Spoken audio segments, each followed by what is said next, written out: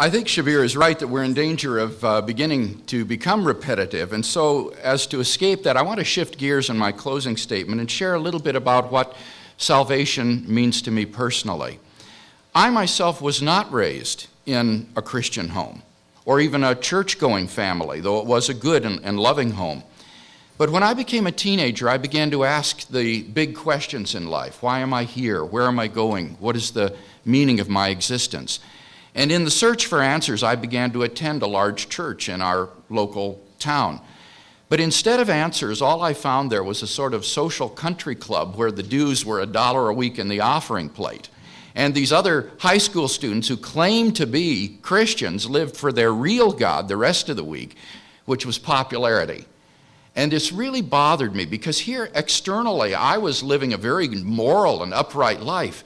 And yet I felt so empty inside. I believed that God existed, but God wasn't a living reality in my life.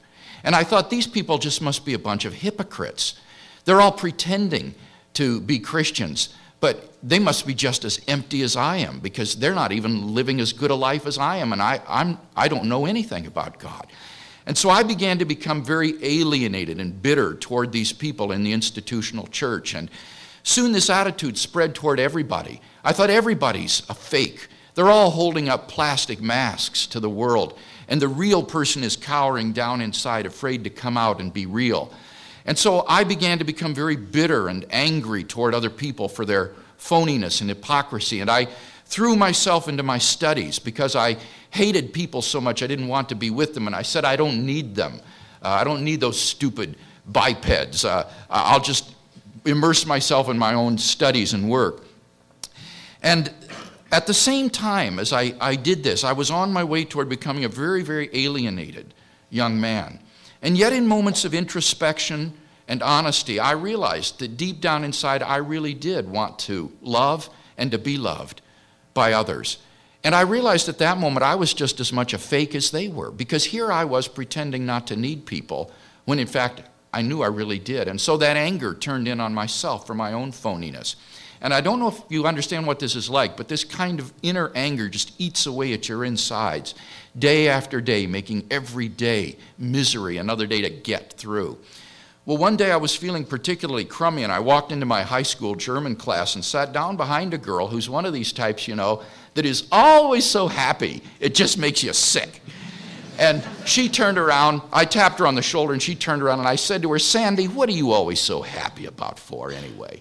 And she said, Well, Bill, it's because I'm saved. And I said, You're what? And she said, I know Jesus Christ is my personal Savior.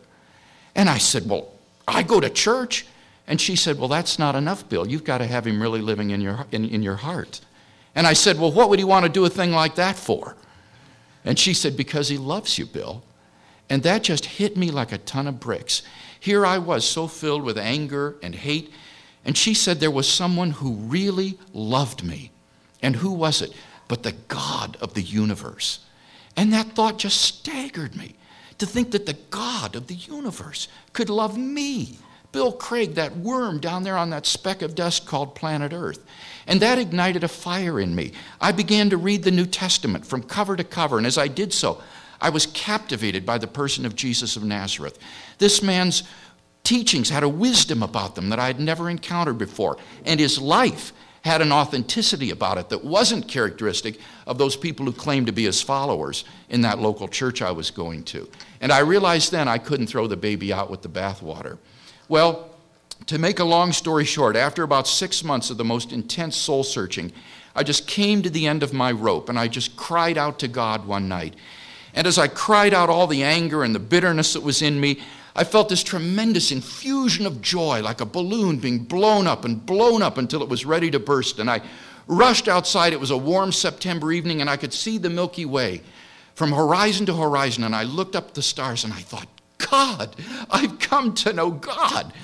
And that moment changed my whole life because I had realized during that time that if this message of God's love in Christ were really the truth, then I could do nothing less than devote my entire life to sharing it with others. And that's basically why I participate in a debate like this tonight, because the gospel is such good news that God loves you in your sin as an unbeliever and He sent His Son to die for you.